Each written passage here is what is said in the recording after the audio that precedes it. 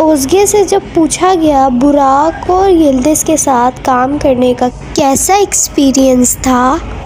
तो उनका कहना था कि बुराक और यिल्दिज उन बंदों में से हैं जिनसे मैं सबसे ज़्यादा प्यार करती हूँ। वो बहुत अच्छे लोग हैं और वो मेरे काम में बहुत मदद करते हैं। और मेरी फ्रेंडशिप उनके साथ बहुत अच्छी है। मैं उनकी बहुत शुक्रगुज़ार हूँ। हम तीनों के बीच में बहुत मोहब्बत है। हमारा लव और हमारी रिस्पेक्ट हमारी जोड़ी को बहुत मज़बूत बना देती है, बल्कि उसने बना दिया है। और ये लोग मेरे सबसे बड़े सपोर्टर भी हैं।